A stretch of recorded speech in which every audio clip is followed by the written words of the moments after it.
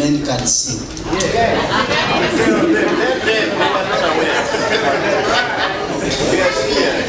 They have no idea.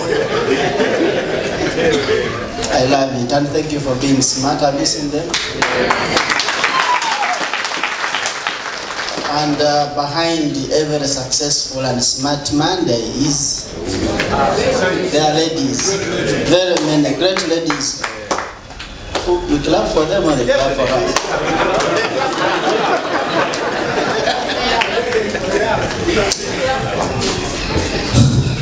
I'm overwhelmed. I'm, um, since I grew up, I, ne- I never speak in church. I would sit behind there, and uh, after the service, I just go away. I would like to thank thank the management of this church. I, I used to pray from Bugolobi Church of Uganda until I came here. When I came here, I said I'll never leave. When I came here, I'm a Mugisu. I found that Sunday the Mugisu were leading. I said, so even us, we can lead.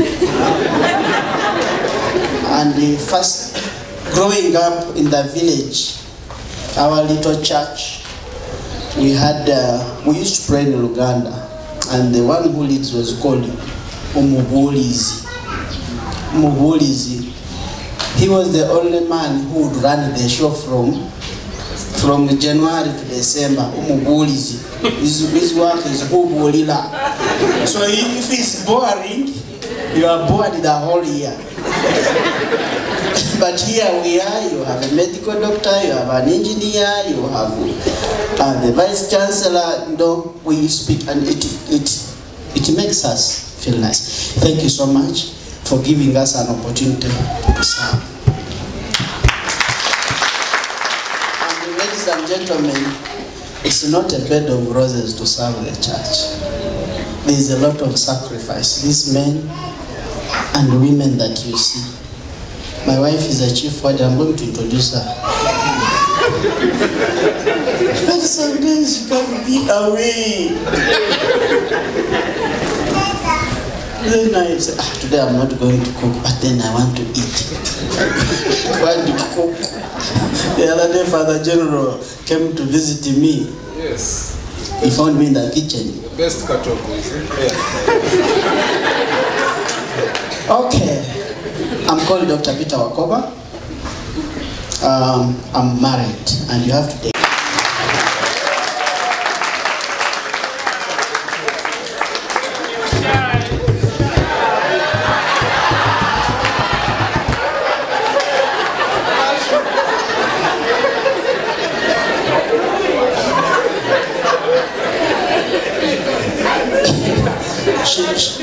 She's only 21 year old.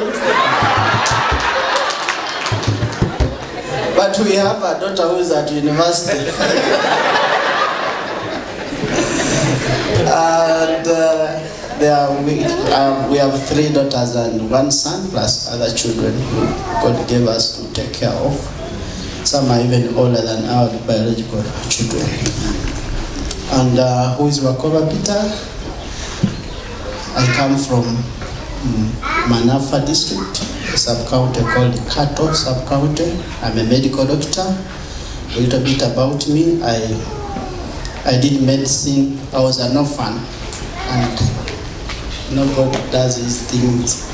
Like I was taught, uh, telling Christians in the, in the first service. If you want to, to be okay, make peace with yourself and encourage children to first make peace. They, they say what they want to be.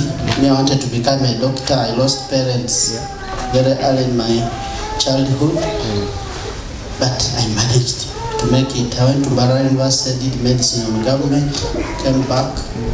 That, at that time, I went and worked, worked in Mbale uh, district. Went came back to Makerere, did public health, master public health. I went back to be a district medical officer, DHO. Yes, I was. After that, I came back, did monitoring and evaluation, and then I said, after doing M and E, I go back to the. I think I'm going to do the same things that I've been doing. So let me move on. So I did M and E. I came back. I joined Uganda AIDS Commission. That's where I work as head monitoring and evaluation. And a few years ago, I said, but I'm forgetting medicine. I went back and did the obstetrics and gynecology. So I'm a practicing gynecologist. In office, you find me at Uganda Commission. In, uh, if you want to consultation, you can you find me at Nigeria Hospital. Nigeria Hospital there, I go there partly, and then Bugolobi Medical Center. And uh, I think some of you are my patients. I, I want to mention it, but it's okay. So, I'll talk about family health. Kindly, even if you don't like me, just listen. And I'm going to talk about simple things which we can all do in order to be healthy.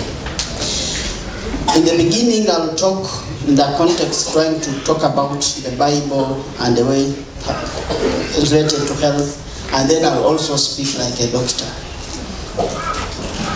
And uh, before I go very far, I might forget. We have a health camp from 1st to 3rd of September. Be part of it. I don't know whether there are, are there health workers here, doctors? If they are, please give us a hand. That's where uh, it's uh, you can serve the Lord through that. Okay. We have a theme for this month. And the theme is unity, drawn from Psalms 133. Unity.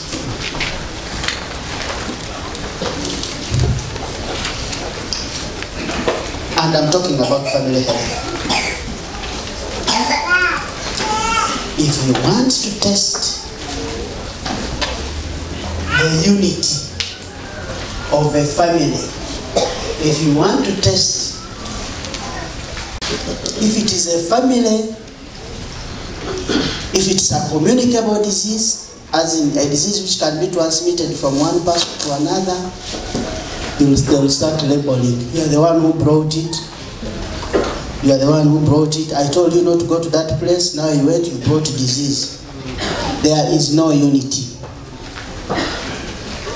Right now in Kayunga, there is a, a sub county called Busana, and there is a family of uh, a person got cholera. Now the whole community, you are the one who brought that disease. You are the one, you see, there is no unity. Because there is a health problem. So the relationship, and Father General, thank you for that, is clear. You know, this Father General is very, he came, he told me you are going to talk about health.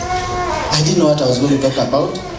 Then later on, he said the family health. Then, but anyway, I'll, just if I, I mix up things, forgive me. And if you read the Bible, if you read the Bible, it's really everything is about health. The miracles that Jesus Christ performed, what was he doing? He was preaching the word of God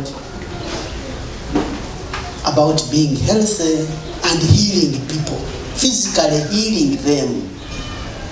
The story of the man with the leprosy was healing. The one, the blind man was healing. The lady who had the uh, abnormal uterine, oh sorry, bleeding, touched just and healed. So the whole Bible, the scriptures, if you sum them up, it's about health.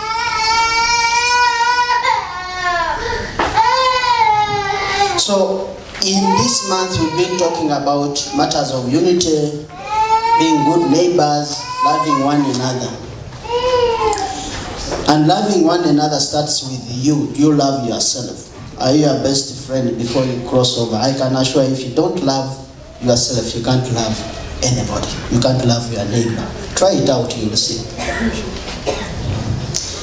So, in Pro- Proverbs 4, chapter 4, verses 20 to 22, 20 says, My son, pay attention to what I say and turn your ear to my words. I have told you that the Bible talks about health. Talk about positive, uh, living positive, purposefully, serving the Lord. So listen, read the Bible, understand it. Whatever we are talking about is coming from the Bible. 22 says, For they are the life of those who find them. No, that one, let's, let's not. Now, why family, family health? Again, the Bible says, God's word shall be health to our body. That means it's spiritual for us to be healthy and that God wants us to be alive in a healthy body.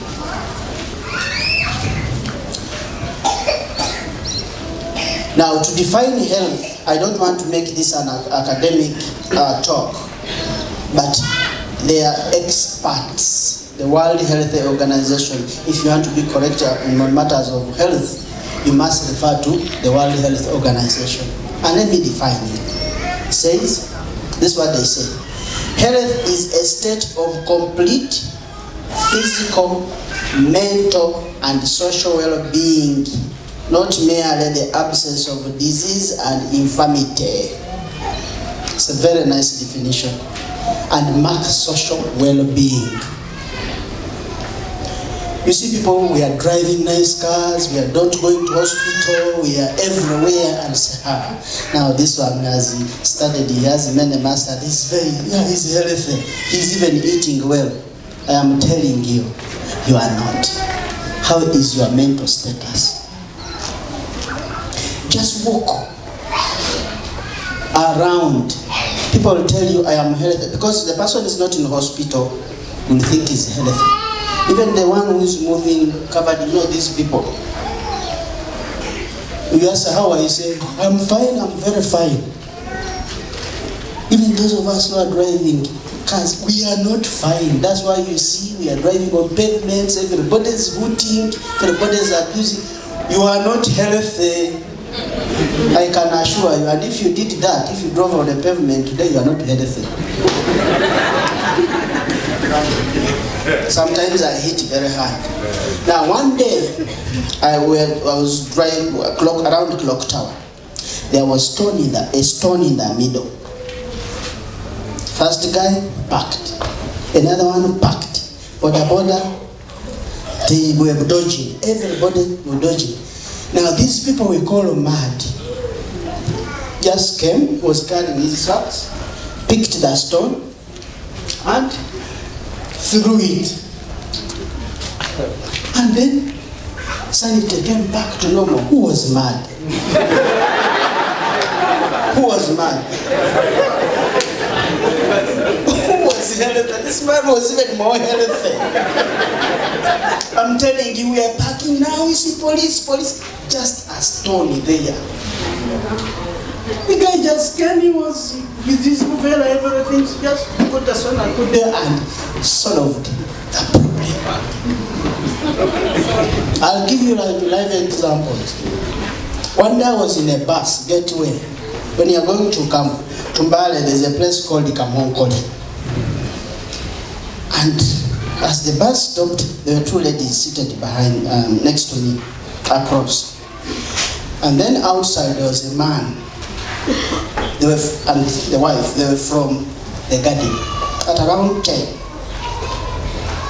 the man in the east, we use uh, banana stems to feed cows.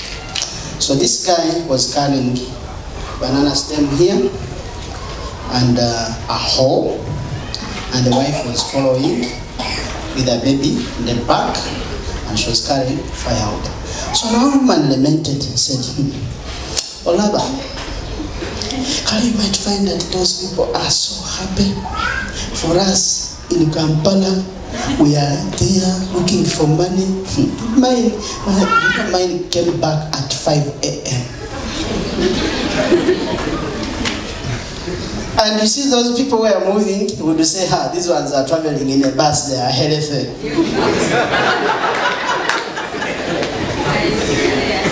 So health is not just the absence of disease.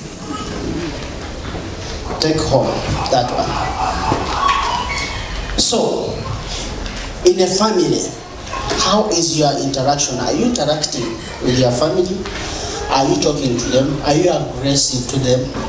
It's not having what to eat, buy food, put it there, and then ah, it's sorted. But now you are clear. How is your relationship with your neighbors? And Kampala is worse.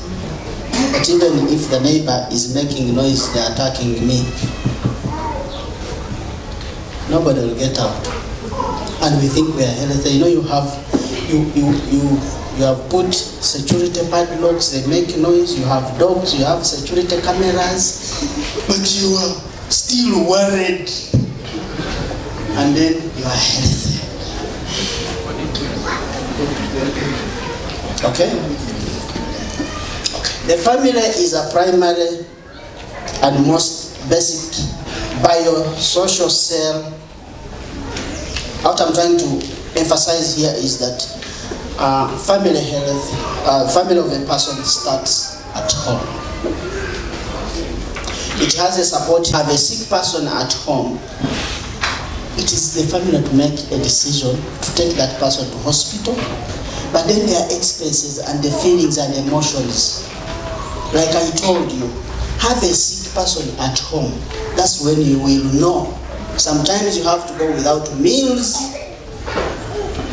Worked in Mulago, I know. They are asking for things you cannot afford.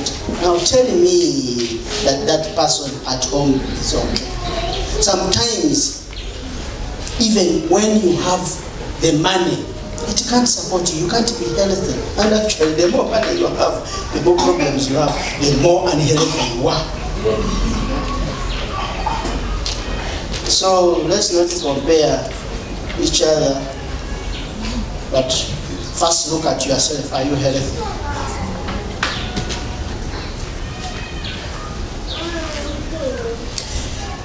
Unity, just like the theme says, is like a charity, it begins at home. Healthy minds start from home. You cannot be united with others and be happy at the church when your home is the tatters.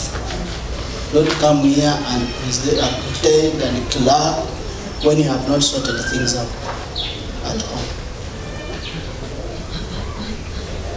And in Timothy, First Timothy chapter 3 to 5, it talks about, especially us men, how we should be faithful, have good temperament, self-control, self-respect, respect, being hospitable, not being drunkards, but we are also talking about women. And talking about men about them, but also women and uh, children and leaders. Be good examples. So managing a family requires good healthy relationships at home. Then you can extend that to the community. You want to be clapped at in the community and at home when you enter, all the children go to their bedrooms some family issues that we face, that we see. We have broken homes, parents have no time for children.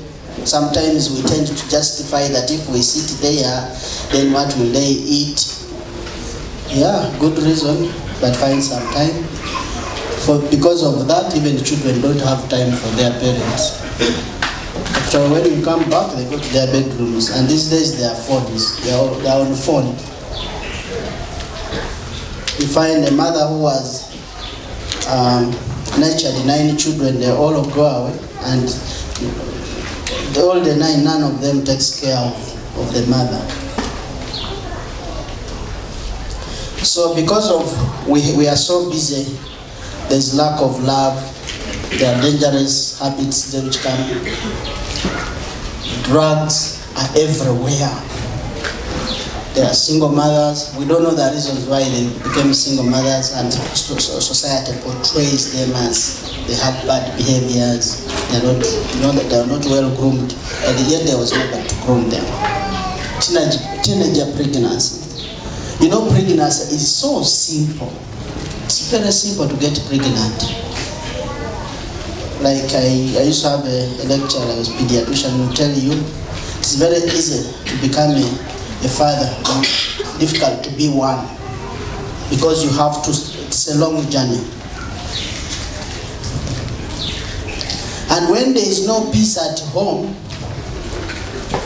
then the solutions we look for, people look for peace elsewhere. Either stay at home every time somebody is working, every time somebody is in the office.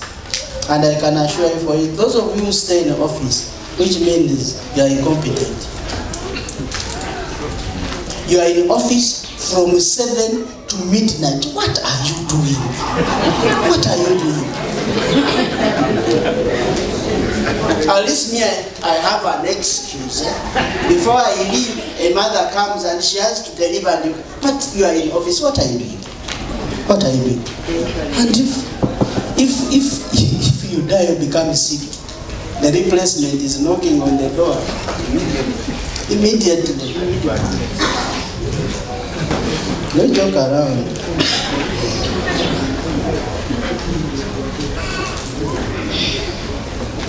So, a, a, a few things that we can do. What is the, uh, the, the, the commonest killer of health, of families, of society is stress.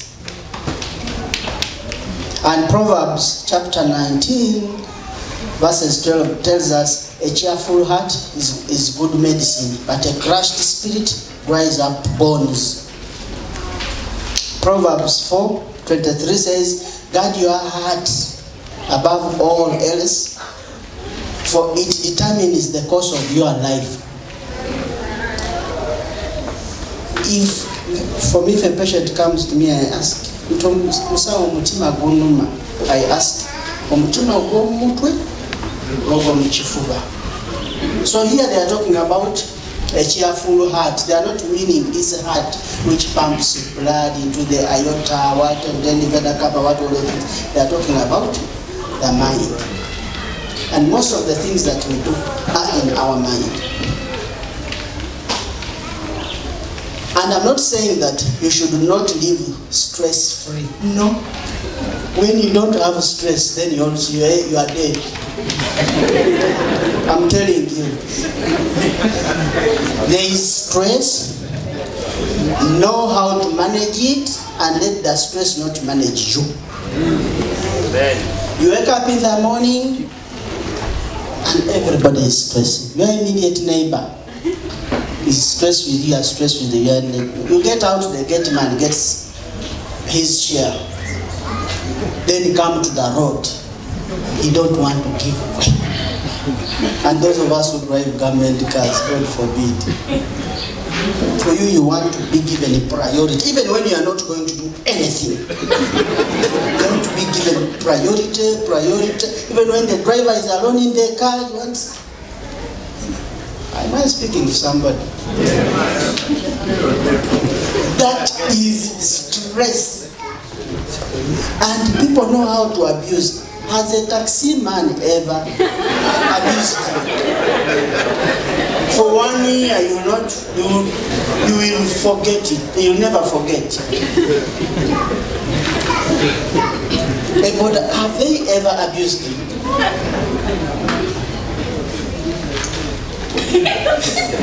You'll never forget. But you see, those are things you can control. As long as you have not knocked anybody, as long as just be calm. Be calm. It takes just one minute or two minutes of waiting and somebody passes than you getting stressed the whole day. It is stress will kill you. Once you have stress, you will even forget that you are driving. And then the next thing, you are just you are causing havoc. Just try it. For those of you drive cars, try it tomorrow morning.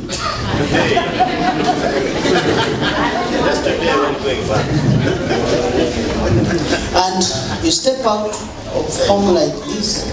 Just even if you are just acting, just say bye to your neighbor properly. Pretend to give a hug, say bye, enter your car. Even the gate man, for once. When you are dropping children, say have a nice day. When you enter the car, just choose any music. I like Crystal Tomlins, Healing Rain. You can even decide to play that one alone and reach office. And when you reach office, you are acting a movie now. Say hi, hi boss. You? Will see what Reverend Bossa, they'll tell you next. You will see how it will feel that day. You have solved many problems. The stress has gone down. Stress is a killer. Stress will make you say very bad things that you regret. Alcohol. I, if I brought each of you, I gave you a glass of whiskey, all of us here, you will see. People will start to say, they will talk about things. Some of you will say, I can't even feel my legs. I was uh, talking to the first service. There was a village. They were taking, uh, somebody decided to, to give them methanol. It's tox- toxic. And you know, all toxic things go for the most sensitive places, those which are divided, cells are, whose cells are dividing quickly. So this one goes to the eye. So the sun is look at, at two. At around four, they are not seeing anything. They say, "Ah, this one, lelo kalese kalonji. No, It is even uh, becoming dark very fast. We should continue bringing this. Kumbe, they are becoming blind. They are becoming blind and they don't know. That's the power of alcohol. To make you make you blind. To make you dance and forget even when the generator is is running for you are dancing. Oh, whose music is that?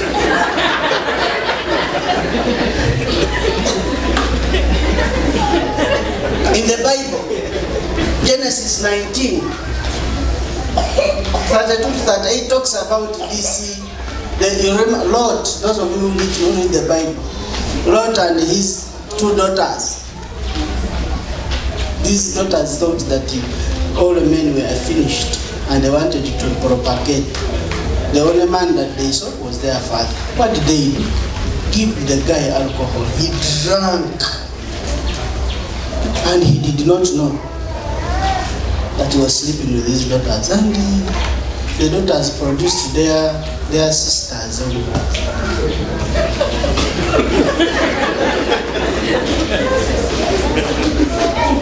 So that is that is alcohol. I'm moving reproductive health. I want to touch things on things which are everyday things. It's reproductive health. Make a decision. You give birth to children that you can handle. If you can handle a hundred, it is okay. If you can so that you see, we, we are fond of after growing and then we start blaming our parents just, because they were poor, they couldn't. And they also made a decision to, to have 20, yet in actual sense, they could afford one. And in the Bible, there is this verse people misinterpret go and produce and fill the world. But the very Bible goes ahead, Genesis 1 28 says, Then God blessed them and said, Be fruitful, multiply, fill the earth, and govern it. Reign over fish in the sea, the birds in the sky, and all the animals. He's not telling you go and fill the earth. He said, Fill and govern. manage you cannot manage. So it's in good faith. He said these doctors now they have brought these things, what what? Think about it. Because they are children. Will blame you. Manage your feeding, ladies and gentlemen. Eat well, eat natural food, eat uh, whole grain, cereal, eat I don't know whether there are mangoes there. Eat them. Even when the children of God were traveling to, to the promised land, manna.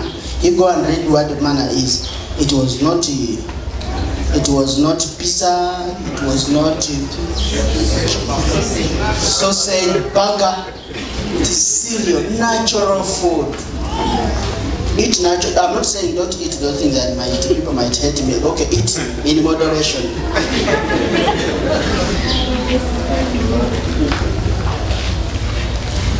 And God encourages us says in Genesis 1:29 says, I give you every blessed every seed bearing plant on the face of the earth, and every tree that bears fruit with seed in it.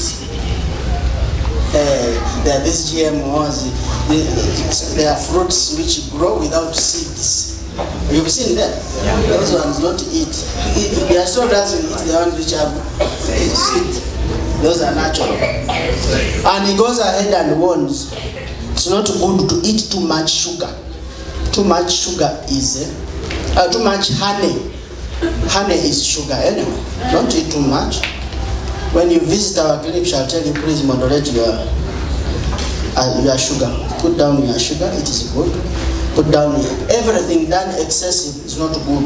Excessive salt is not good. Excessive sugar is not good. Everything done excessively is not good. If you want to make excessive money, it is not good. Because it forces you to do funny things. And the Bible has many scriptures about eating, even when performing miracles. They say that God uh, fed the fed the people on on sausages? No, it was fish and bread, and bread is made from wheat. It's natural, not sausages, cappuccino, what all those things. Anyway, the the I can take you to a certain place next year and you see how people are destroying Rosanias. Right, yeah, that is one. You want us to go? the fathers, they have, they want to entertain you. so get prepared for you, Lusania. As I come to the tail end, ladies and gentlemen, um, let's let me give you 10 tips how to stay stay healthy. Now I'm talking as a doctor. You're welcome. Um, in order to be to be to be healthy, I hope you read your Bible. Make sure that you read your Bible. But as a doctor, get moving. Get up and exercise. Get up and exercise. Do exercise. Now some of you are looking at me, but this man doesn't know that I don't have money for the gym. No. The gym is everywhere. Walk. Walking is the best. Look here, during COVID, he sent a video to all of us how he was doing exercises, everything. You did a good job. I think that's why you are healthy. So do exercises and try it. Try it. If you exercise after, take your blood pressure, you will see. If you are hypertensive, it will be to get tending towards the normal range. Eat whole food. That one we have talked about. And I, I forgot to say that staying healthy involve, involves making certain choices. And many of these are in your hands. Should somebody tell you how to exercise or take you for exercise? Well, eating uh, lumonde and whatever, should somebody tell you how to eat it? It's in your hands. Unless if you don't have it. Uh, if you smoke, try to quit. Smoking is bad. But when you somebody is withdrawing, eh, you don't just stop smoking that's all. Somebody will, that person will die, including alcohol. Stop. Today you are not drinking. For those of you who have spouses who to tell okay, you have been taking 10, come down 9 until 1, and then you withdraw. But if you do it immediately, you get what we call, we call it withdraw.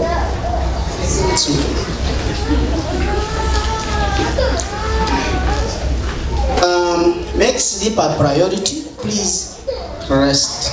Please don't work up to midnight. Come back, reach home at 4 and sleep for 2 hours and go back to the office again. That office must be special. Have rest, at least 6 hours. But and if you are older like some of us, so you get get longer hours of sleep. It's good, relaxes your body, it makes your brain work better. We have a syndrome, you know, a person is in bed has a charger there, has an extension there, because they want to stay on WhatsApp the whole night, or watch or YouTube or watching movies. That's not good. Switch off and, and rest. You'll catch up later. You can see a person enters the taxi like this, uh, sits like this, pop, and starts sleeping. Supposed to get off from from Kireka, and these ones of Kireka go up to. You find yourself in one day. It happens. And there are moments when you don't, you know, there are stages of sleep. There's a place, there's a time when you are deep, you are deep asleep. You may not have control over some things. and you are in a taxi, you have your saliva this side. Then you are inconveniencing your neighbor who is next to you. That's because you didn't have enough sleep. That's all. Alcohol, I've talked about it, stop it. Then stay hydrated, please drink. Anybody with water, please? Drink. Drink. It's time for drinking. Porridge has water. Hope you have something. Porridge? Porridge is also okay. Because it is made using water and pure uh, millet flour or maize flour. Please drink. I want, this is not an academic class. I say drink three liters. No. If you can drink le- 10, you drink. It's okay. But make sure that you drink, don't stop, and drink clean water, please. Um, then another one is focus on prevention. Prevention. Prevent anything happening. How is your environment? How are you dumping the rubbish? Are there flies? Can you them because they transmit? Hmm? Vaccination. Are you vaccinated? Are your children vaccinated? That's prevention. Go for routine checkup. At least one, one, one, uh, once a year. And like I told you, we have a health camp. You come, we shall soon. They are even go and check blood pressure. But uh, but now people start saying, oh, I have to rush. Oh, I have to go. Yeah, they first take blood pressure. They know your numbers. Reverend uh, Bongo, how people, you know your blood pressure, is it normal? Is it in the normal range? Exactly. Know it. Know your number. So that if you deviate from the normal, then you know. And most of these diseases that we get, diabetes, hypertension, they come slowly. But because we are not checking, and if you catch them early, in most cases you don't need drugs. Just just stress this one we have overemphasized. It, don't forget the other movie we talked about. Lastly, I know there are children here, but I'm not meaning exactly what you think. Practice safe sex. A. Abstain. Be faithful. B. Don't do LGBTQI. Same sex, don't. There's nothing that you'll get gain from there apart from embarrassment and being a nuisance. Safe sex, the consequences of uh, these days, the modern things, DNA test, DNA test. If you do the right thing, we don't have those problems. If you don't want, it's also okay, you will face it. In conclusion, Corinthians 6 19 to 20, in between there. Do you know that your bodies are temples of the Holy Spirit who is in you, whom you received from God? You are not your own. You were bought at a price. Therefore, honor your bodies. Be careful. Do what is right. Let's take care of our bodies, including our mental wellness, so that this temple of our Lord can do the purpose for which it were created to live healthy and above all, serve the Lord. To read your Bible. And Matthew, we've been talking about this since, since the beginning of the service. Matthew 11 20 says, Come to me, all You who are weary and burdened, and I will give you rest. Do everything, turn to God, and say, Here I come. I'm burdened, I'm weary. Grant me rest. May God bless you. Gloria, come and pray.